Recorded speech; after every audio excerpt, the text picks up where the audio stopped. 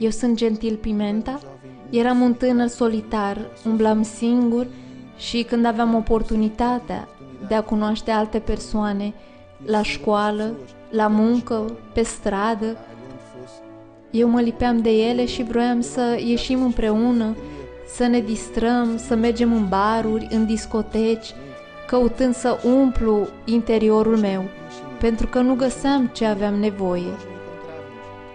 Am asistat la televizor programul bisericii și mereu am fost curios să știu cum s-a schimbat viața acelor persoane care apăreau la televizor. Am primit o invitație și am acceptat-o pentru a cunoaște lucrarea Centrului de Ajutor Spiritual. Atunci am primit prima rugăciune și imediat am simțit o diferență. Atunci am început să mă dedic și după aproximativ două luni de când eram la biserică a fost focul sfânt.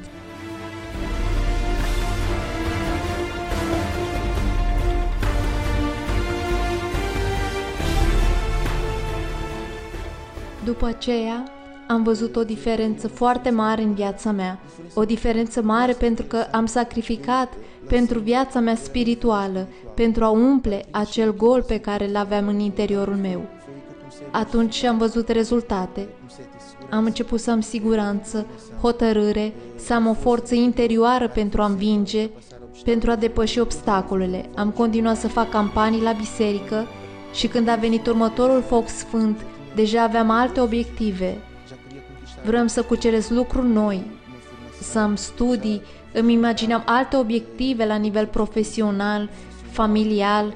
Eu aveam un vis de a putea avea o familie fericită, un cămin binecuvântat. Cu timpul a venit altă oportunitate de a sacrifica. Atunci noi am sacrificat și am făcut sacrificiul nostru perfect. Atunci a fost, am avut oportunitatea de a o cunoaște pe soția mea. Astăzi casa noastră e binecuvântată, noi putem să ne bucurăm de bunurile pe care Dumnezeu le-a dus în viețile noastre. Suntem un cuplu frumos.